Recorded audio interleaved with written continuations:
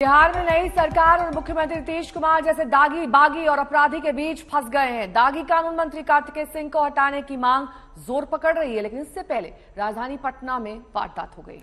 पटना में कोचिंग से लौट रही छात्रा को अपराधियों ने गोली मारकर घायल कर दिया। सवाल ये कि कानून व्यवस्था पर घिरे सीएम कानून मंत्री की छुट्टी करेंगे या नहीं करेंगे?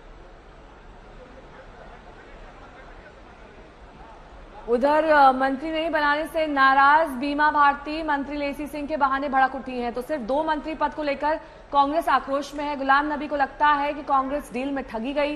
कम से कम चार मंत्री तो कांग्रेस के होने चाहिए थे। इस बीच कानून मंत्री पर खबर ये आ रही है कि उन्होंने पिछली शाम लालू से मुलाकात की और आशीर्वाद लिया।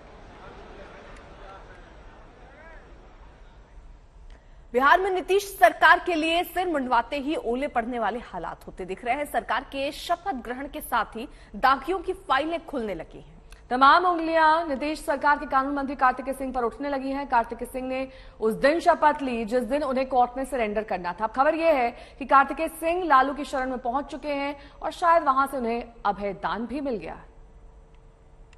नहीं नहीं वो नहीं पता। इसके बारे में जानकारी हमको नीतीश बाबू आप तो सुशासन बाबू का दावा करते हैं। जिनके पास सब जानकारी होनी चाहिए।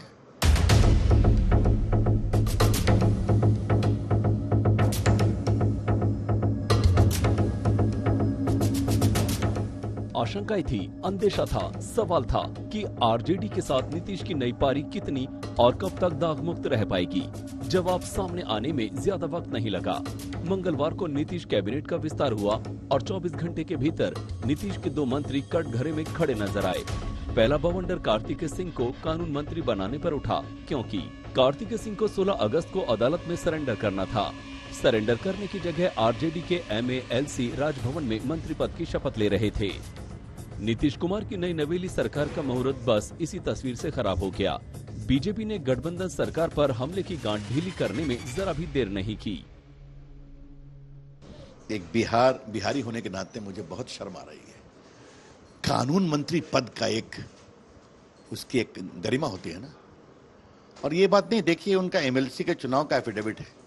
इसमें सारे आरोप तीन सौ पैंसठ, तीन सौ चौसठ, बेटा थाना 859 का ज़िक्र है। सजा कितनी होती है तीन सौ चौसठ में? किडनैपिंग फॉर मर्डर मतलब आजीवन कारावास। कानून क्या जवाब देंगे आप? आपको तो सरेंडर करना था ना? आपने सरेंडर के डेट के पहले कोर्ट में जाकर उसको स्टे कराया होता। ठीक है आप पर वारंट निकला आप कोर्ट गए और आपने कोर्ट ने कहा कि कोई भी कोर्सिव एक्शन मत लीजिए। तो ऐसा तो नहीं हुआ है। तो वारंट है कि नहीं है? बता दें ये वो वारंट है कि नहीं है? ये फर्जी कागज़ है कि आप सारे चैनल इसको दिखा रहे हैं? तो इसलिए नीतीश जी अब ऐसे लोगों को रोक नहीं पाएँगे। कार्तिक सिंह को अदालत में थोड़ी मोहलत मिल गई है। अदालत ने सरेंडर करने की मियाद बढ़ा दी है लेकिन नीतीश सरकार की पारी बस इसी प्रकरण से लड़खड़ा गई। आरोपी मंत्री के लिए सवालों का सामना करना मुश्किल हो गया। हलफनामा में सब अपना मंत्री विधायक जितने होते हैं सब देते हैं सब दिया हुआ है उसमें कहीं कोई इस तरह की बात नहीं है। खुद नीतीश कुमार के लिए कार्तिक सिंह को डिफेंड करना मुश्किल हो गया। सवालों से वो किनारे करते दिखे। जारी हुआ है सर कार्तिकेय पे। नहीं नहीं वो नहीं पता। इसके बारे में जानकारी हमको सर बीजेपी जारी हुआ है सर कार्तिकेय पे। नहीं नहीं वो नहीं पता। इसके बारे में जानकारी हमको नीतीश ने देर शाम लालू यादव से मुलाकात की। लालू दिल्ली से पटना पहुँचे थे। कार्तिक सिंह का सवाल लालू के सामने भी उठा। लालू ने जवाब अपने अंदाज में दिया।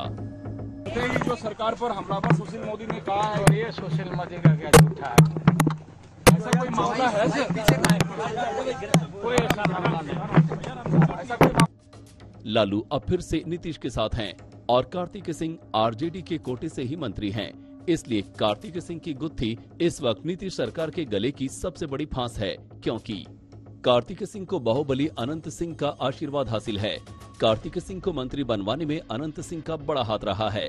कार्तिक सिंह को 2014 के एक केस में 16 अगस्त को सरेंडर करना था। फरवरी 2022 में कार्तिक सिंह की अग्रिम जमानत की अर्जी हाईकोर्ट ने खारिज कर दी थी।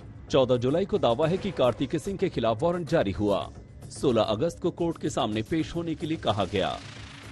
अब नीतीश कह रहे हैं कि उन्हें कुछ भी नहीं मालूम, लेकिन इतनी बात कहकर वो अपनी ज़िम्मेदारी से पल्ला नहीं झाड़ सकते। अब तो पूरे देश को नीतीश के कानून मंत्री की कुंडली की जानकारी मिल गई है। पहले ना सही, अभी कार्रवाई कर लें। नीतीश कुमार अपनी गलती दुरुस्त कर लें। रोहित कुमार के साथ सुजीत झा, पटना, आज तक।